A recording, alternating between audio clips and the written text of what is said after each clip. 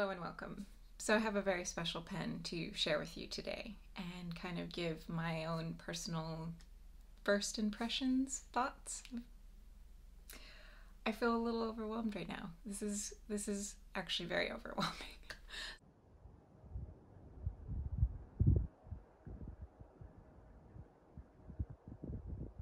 So the pen belongs to Andrew at Pen Friends. I will of course share his channel down below in the description and I encourage you strongly to check out his channel if you are interested in fountain pens and nature photography and beautiful artwork done and created with fountain pens and inks.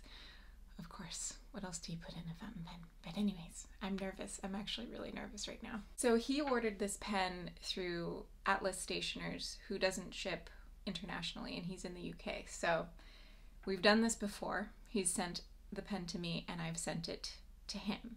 The cool thing is, he also allows me the opportunity to open up the box and to use the pen. And this is one that I think was a dream pen for him since he first entered the hobby. And it is a pen that I have also always wanted to experience. It is the Pilot Namiki. So, first of all, it comes in this huge box. it's a really pretty box. The box within the box. This is a wooden box. I am so flustered. It's ridiculous. I don't even know. I, I hardly know anything about this pen. All the different artwork that and traditions and things that go into this pen, which Andrew will give a very in depth, I'm sure, video of once he has this pen in his own hands. So I'm going to just glaze over all of that because I honestly don't know much. Even this Namiki book has really beautiful paper on the front of it, slightly translucent. So,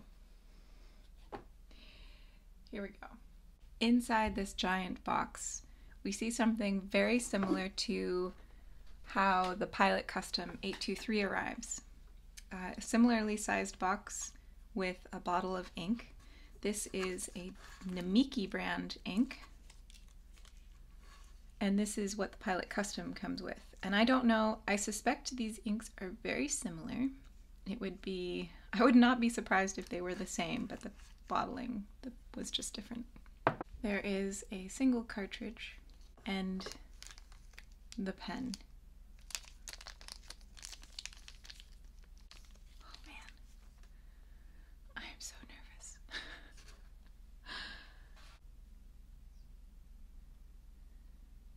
okay.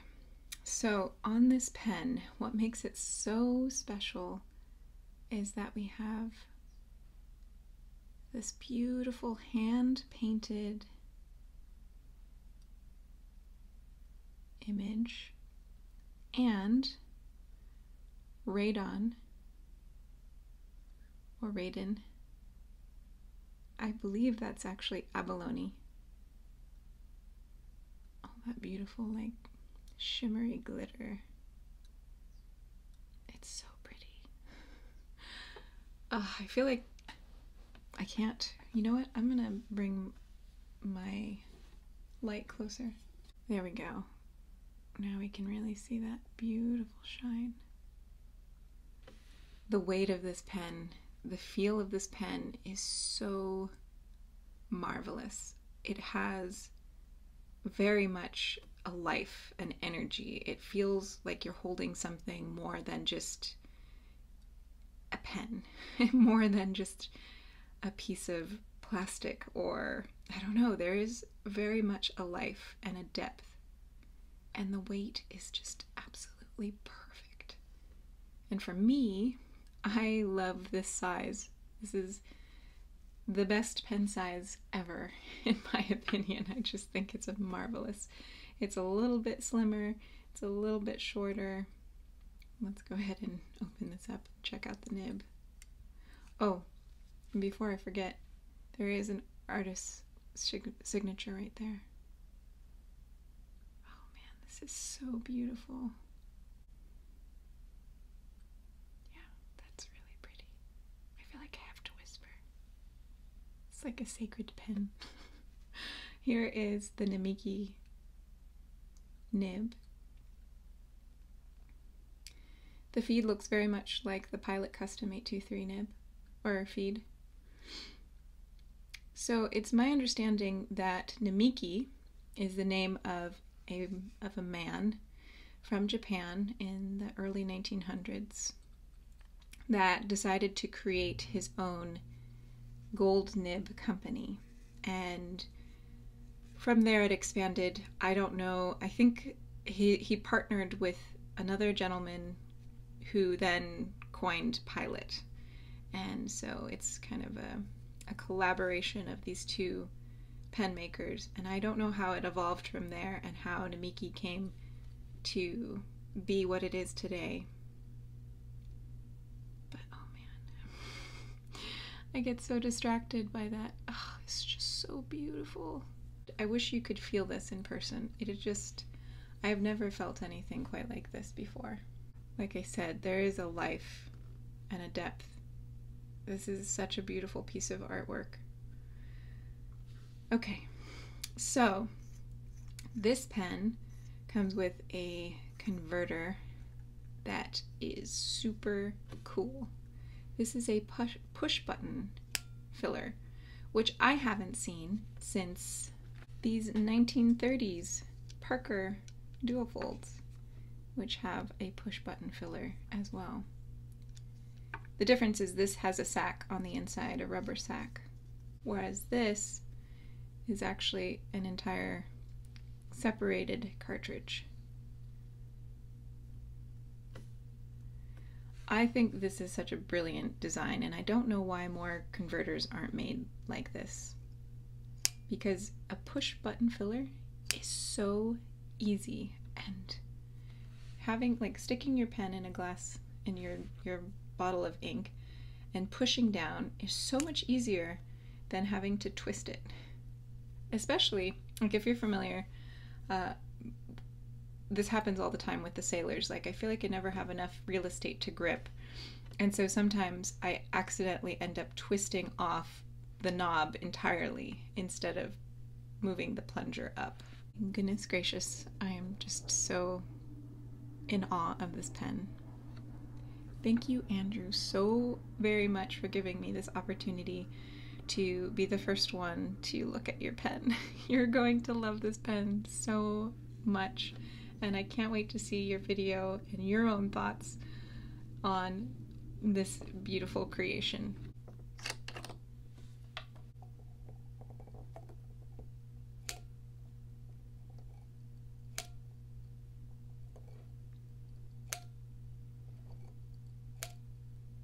I don't need to be filling it so much, but I just want to show you how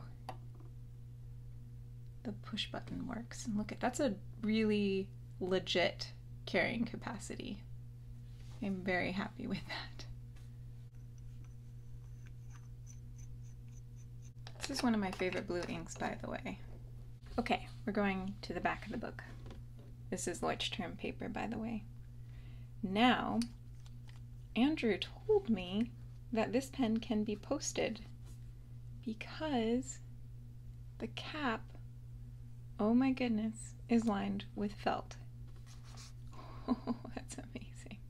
I still feel very anxious about posting it, and it's completely unnecessary. It makes the pen much longer. Still a really nice balance, though. This is perfectly balanced. Wow. That it, that just feels so good to hold in the hand. All right, let's get to work.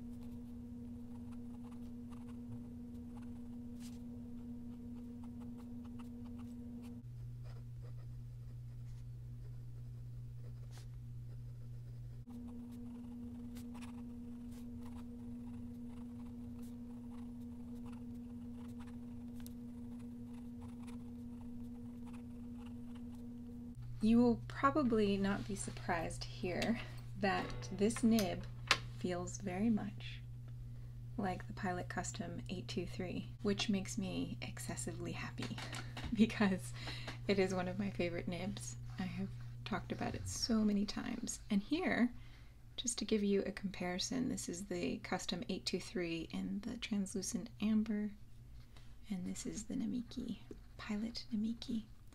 So you can see a lot of similarities. And I've got some schmutz on it. That's embarrassing. I promise I won't get schmutz on your pen, Andrew. Just gonna take a look at the two different nibs. I'm surprised to see actually that the Pilot Custom 823 nib is a hair bit larger of a nib. Everything is so proportionate on these pens. And then here's the Pilot Custom, and I just want to give you a sense of the line variation and how these two fines differ.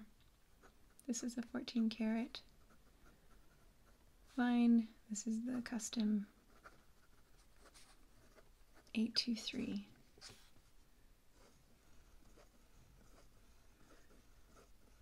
The nib is just a tad soft. This is actually an 18 karat fine. And the nib isn't quite as soft, surprisingly enough, as the custom 823.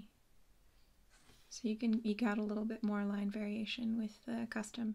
Okay, what do I think about this pen? I, okay, this is a very expensive pen. This is the most expensive pen I've ever held.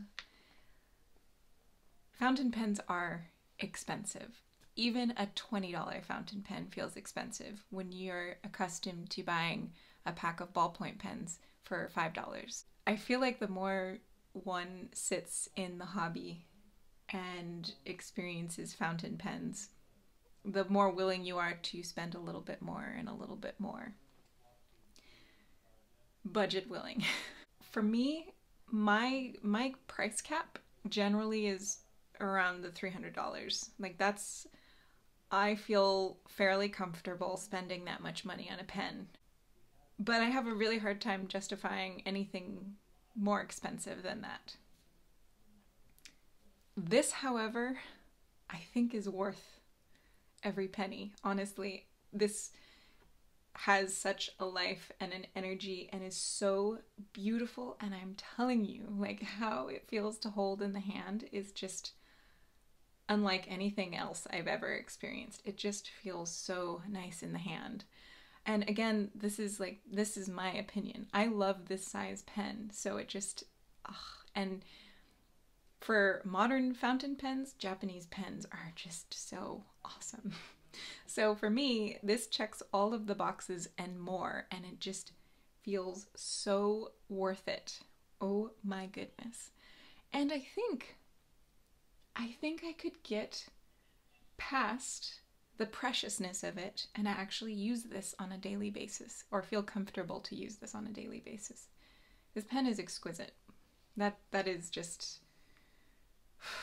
hands down this pen is amazing and it is now on my wish list. Darn you, Andrew. You pen enabler, you. Thank you all for watching. I hope that you enjoyed this video. I hope that it makes it safely to you, Andrew. And I hope that you love it. And I can't wait to see your video. Thanks for watching, everybody. Bye.